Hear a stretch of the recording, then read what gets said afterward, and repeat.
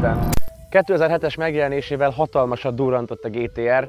A Nissan megalkotta az egyik leggyorsabb szériagyártású sportautót, amiért nem hiába, rengetegen rajonganak, de még mielőtt tovább mennék és elárulnám a titkait, ne felejtsetek el feliratkozni a csatornára és bekapcsolni az értesítéseket, hogy nehogy lemaradjatok a legújabb autós tartalmakról.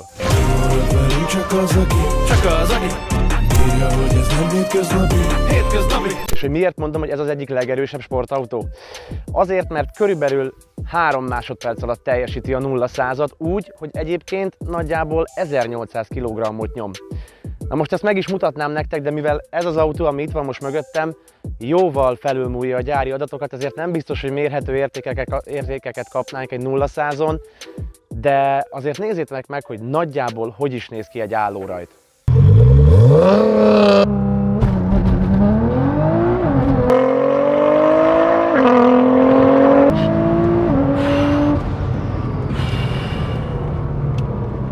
Jézusom!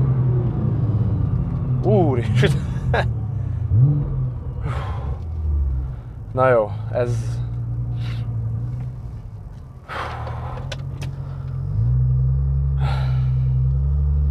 Ezt nem kommentálom inkább, ehhez nincs, nincs mit hozzáfűzni. A GTR kódszáma az R35-ös, tehát ebből is adódik, hogy a legendás Skyline GTR-ek hű utódja akar lenni, ami szerintem azért sikerült is, hiszen egy-két formai elem is megmaradt eléggé skyline-os, ilyen például ezek a hátsó lámpák, ugye ez a négy kör alakú lámpa már az R33-ból vagy az R34-ből is ismert lehet. Összességében egy szép formájú autóról beszélünk, ez az egyébként 4,7 méter hosszúságú kupé hátulra hatalmas kipufogó végeket kapott, igaziakat, a gyönyörű diffúzor mindkét oldalára, és még ez az egyébként ízléses méretű hátsó szárny is javít az összképen.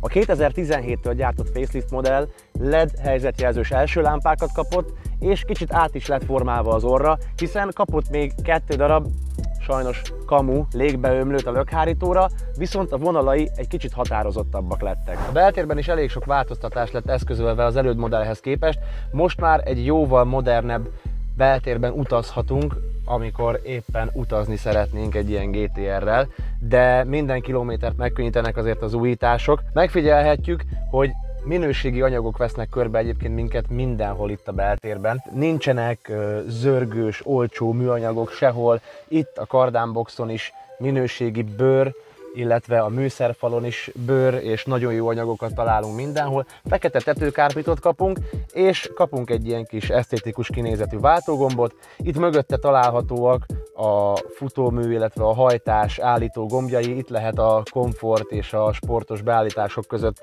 váltogatni. Ezek fölött pedig a kétzónás Digit panel gombjait találjuk, és még ezek fölött pedig az érintőkijelzős központi fejegységet, ami szerintem annyira már nem 2017, egy picit elavultnak találom, és a működése is elég lassú, kicsit nehézkes, egy picit laggol néha, viszont megtekinthetünk rajta nagyon fancy dolgokat, mint például a turbónyomás vagy a G-erők, ez viszont egy jó pont a Nissan felé. Kapunk Bose hangrendszert is, ami bizonyítottan gyönyörűen szól, de valamiért az az érzésem, hogy ebben az autóban ez túlzottan nincsen sokszor kihasználva, ugyanis az autónak maga a hangja nagyon-nagyon brutális. Hallgassuk is meg!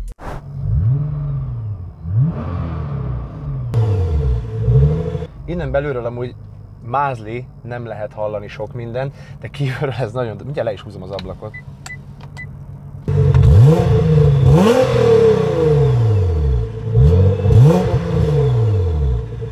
Ez egy, ez egy Nissan GTR. R-Matrix rendszerrel egyébként, csak úgy éppen, mint az előzőleg bemutatott Audi RS5, aminek a linkjét itt találjátok fölöttem, vagy itt, nem tudom de nézzétek meg mindenképpen. A beltér legfontosabb extrája talán ez a két extra kényelmes és nagyon jó tartás biztosító rekáróülés, viszont nem tudom, kicsit ez a könyöklő, mint hogyha fura helyen lenne itt hátul, de ha már itt tartunk, könyöklő helyett itt van ez a kézifékkar. 2017-ben egy olyan autó, aminek nem elektromos a kéziféke. Hála Isten! Bizony, ez megint egy jó pont a Nissannak. A kormány háromágú és nagyon jó a fogása, de hát ekkora teljesítményhez azért kell is. Na és ha már a teljesítménynél tartunk, akkor kezdjünk bele egy Nissan GTR bemutató legfontosabb részébe. Egy pillanat. Nincs teleszkóp. Ez mondjuk egy kicsit fura, de hát lehet, hogy így spórolták meg azt a 20 milliót, amivel ez olcsóbb egyébként, mint egy Audi R8. Na mindegy. A lényeg, minden egyes Nissan GTR-t kézzel egyedileg összeszerelt 3,8 literes V6-os Iker turbós motor hajt, amely a facelift alapmodellben 570 lóerőt tud, összkerékhajtással és 6 sebességes dupla kuplungos automata váltóval. Ezen kívül egyébként rengeteg Special Edition létezett, vagy létezik mai nap is a GTR-ből, ilyen például az Egoist, a Spec V, vagy a Black Edition, de talán ezek közül a legemlítésre méltóbb az a 2020-as Nismo modell, ami őrületes 2,5 másodperc alatt tudja a 0 százat. A mai autónk egyébként, amit én hoztam nektek, ez viszont még talán ennél is sokkal durvább, ugyanis a gyárító jóval nagyobb turbókkal, módosított váltóval, illetve motorral körülbelül 816 lóerőt és több mint 1000 Nm nyomatékot tud, amit aztán hamarosan ki is próbálunk. Van egyébként a GTR-nek hátsó ülése is, amik hát éppen csak elfogadható méretűek, vagy még akkorák se, mert ide túlzottan, uh, és egyébként a fejtés se túl nagy itt hátul, szóval ez kimondottan csak gyerekeknek való. Ha megpróbálok annyira magamra húzni az ülést, hogy elférjen előttem mondjuk egy átlagos méretű sofőr, akkor én már itt kimondottan kellemetlenül érzem magam, mert hogy folyamatosan le kell húzni a fejemet, és uh, tulajdonképpen teljesen eléri a háttámlát a lábam, úgy, ide most nagyjából elém egy 170 centis ember férne el. Szóval uh, aki családi autónak szeretne GTR-t, annak nem ajánlom. És jövök is kifele. Csomagtartója is van, ami egyébként nem is annyira kicsi, ugyanis egy-két bőrönd pont tökéletesen elfér benne, egészen pontosan 315 liter, ami azért kisebb, mint egy Golfé például, de tulajdonképpen kit érdekel? Ez egy GTR, menjünk vele egy kört. A Nissan GTR valójában egy tökéletes sportautó, még ha méretei és tömege nem is erről árulkodnak. Futóműve kitűnő, az úttartása kifogásolhatatlan, ülései és kormányai is pont erre a célra lettek kialakítva. Hamisíthatatlan versenyfeelinget és szabadságérzetet ad, miközben a legkomfortosabb beállításban hamar elváltogat, a rugózása is kellemes, és egy egyszerű, vagy na jó, annál egy kicsit bonyolultabb, de hétköznapi autó marad. Ezt a tesztautónkban egyáltalán nem tapasztalhattuk, ugyanis ez az autó nem viccel. Itt semmilyen hétköznapi érzésről nem beszélhetünk. Nézzétek meg, milyen egy több mint 800 lóerős Nissan GTR. Hát gondolom ennek azért nem ilyen hangja van gyárilag. Mármint így a, a váltónak, a, tehát hogy egy kicsit ilyen Sír. sír, ja. Fú, de érdekes. Ilyen igazi versenyautó feeling van benne amúgy. Főleg ezzel a hanggal, fú, nagyon, nagyon jó. És javaslom, hogy ha ráhúzol bármelyik vízéről főre, akkor átvált manuára, hogy Aha, ja. menjél, mert, mert ö, agresszív nagyon. Tehát, hogyha ha most, most sportmódban van, vagy részmódban van, tehát hogyha most, most berugod neki, akkor elkezd visszaváltogatni, és Aha. nagyon beugrik. Jó, nem hatodik volt, Jó, de gondolom. innen is gyorsan visszaváltogat. Tehát húzd át manuába, és akkor, akkor érzékeled. Egyenlőre még. Mérőt figyeld, 7000, max 7000-ig. Aha. Jó, egyenlőre még szokom azért. Ja, és kettő, Ja. kettő-háromba óvatosan.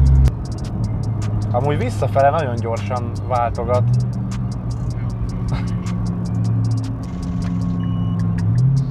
Érdekes, hogy amikor ugye gyorsítunk, akkor tehát előbb rakja föl a sebességet, hogy alacsonyabban tartsa, most pedig, most pedig minél előbb visszavált, hogy Szerintem kurva jó, tehát én több automata váltós sportos autóval mentem ennek a, a, a részmódba, az automatája kibaszott jó. Csak aki nincs hozzászokva, az megijed tőle, mert, mert Ja, Azért- azért aha. szoktam oda inkább húzd át. Kézibe vagy most? Húzd kézibe. Inkább te váltsál.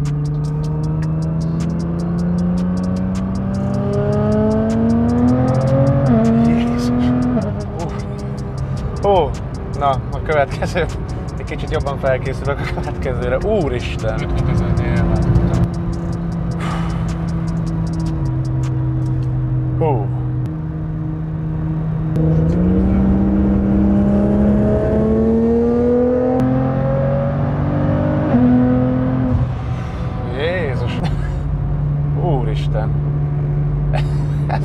kemény.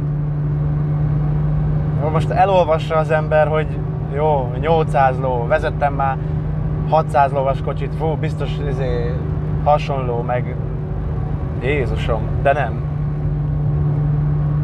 Hát ilyen durva autóban még soha nem ültem. És most aki itt bármi részletesebb beszámolóra számított itt a videó során, el kell keserítsem, mert szerintem nem lesz. Még visszafele is lelépem egyszer-kétszer talán, aztán aztán ennyi bőven elég. Most ugye nem is olyan erős. Aha, Tehát most egyötös turbonyomás a maximum, és a következő programon meg 2,1 vár. aha. És öt program van? Négy. Négy program van. És most a leg, legalapabban Nem, vagyunk? Nem, nem,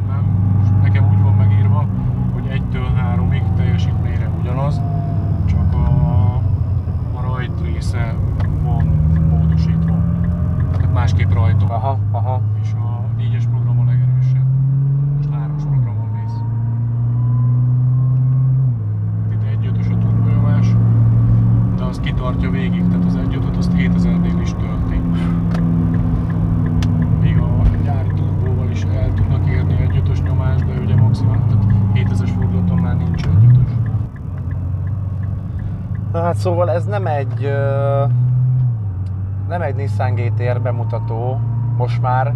Annak indultam úgy, úgy akartam kezdeni a videót, meg tényleg azt akartam, csak hát ez, ez, ez nem, egy, nem egy hétköznapi Nissan GTR. Egy Nissan GTR alapból nem hétköznapi. Na most visszarakom háromba. Próbálj meg kettőbe, de tényleg fogalkorban is nyugodtan ciklusz, nem, nem hoz semmi. És várj, még 3000 Azért.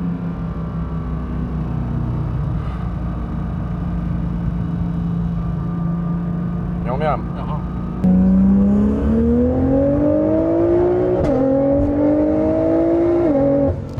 Jézus úristen! Azt a kurva! És ezt ha hiszed, nem, ez 300 fölé ugyanígy megy. Hát nem akar elfogyni, az biztos. Ugyanígy megy. Ezek ezt musz... Nem akarom még egyszer kettőbe, de háromba legalább muszáj még egyszer.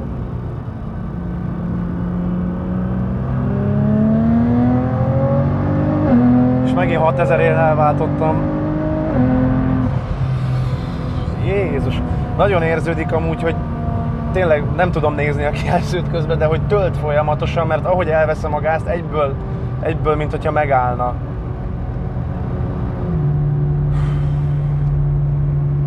Ja, tehát most egyébként egy versenyautóban ülünk, nem egy, nem egy hétköznapi Nissan GTR-ben, mert uh, hallatszik, hogy sír a váltó, üvölt a kipufogó, üvölt a motor, a visszaváltások keményebbek, tehát ilyen itt érződik azért, hogy ez, ez, ez nem egy gyári autó. Úgyhogy hiába is akarnék, én el, akarnám elmondani, hogy hogy viselkedik egy gyári Nissan GTR, meg ilyen beállítás, olyan beállítás. Ez, ez nagyon durva.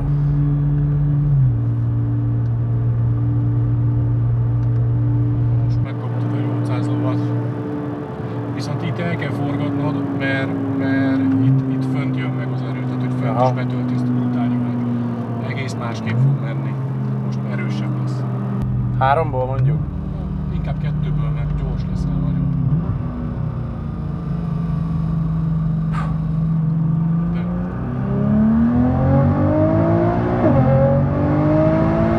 Jézus. Úristen! érezted, vagy érezték Igen. különbséget, hogy fönt, tényleg, tehát ott még a ott a 6 és 7 ezer között ott még van benne. Igen. És honnan tudod amúgy, hogy melyikben van? Vagy... Ö... Ha megnyomod a cancel folyamatosan, akkor fordulatszámérő 3-asra ugrik. Ja, és hogy akkor 3, 4, és van 2. egy.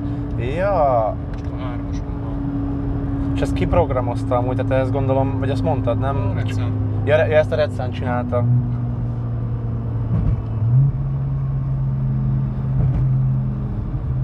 Ja, hát azért így ezzel a kuplunggal, meg váltóval ilyen nagyon kemények a visszaváltások, azért így...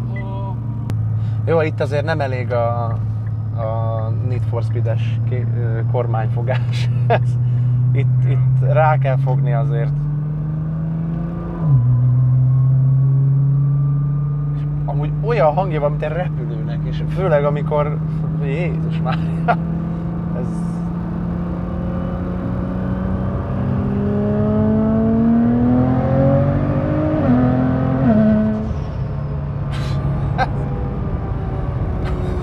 Úristen, ez nagyon durva. És amúgy mennyire, nem tudom, mennyire üzemórás ez így, vagy ha- használható teljesen, vagy... Nekem a váltó azért lett megépítve, tehát ehhez a teljesítményhez nem lett volna úgymond elengedhetetlen a váltóépítés. De ahhoz, hogy stabil maradjon az autó, ahhoz kell.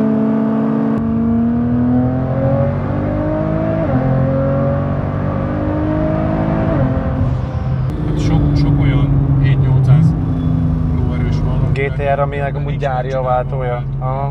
Max egy kuplung, de a fogaskerékeket nem cserélik, mert drága nagyon. Mhm. De én úgy voltam vele, hogy, hogy nem akarok attól rettegni, hogy, hogy mikor törik el. Ja. Meg ugye gondolom a motor Ez, is... most ez, ez, a, ez az autó ezzel a konfiggal, úgymond a GTR-ek között ez a legoptimálisabb tuning.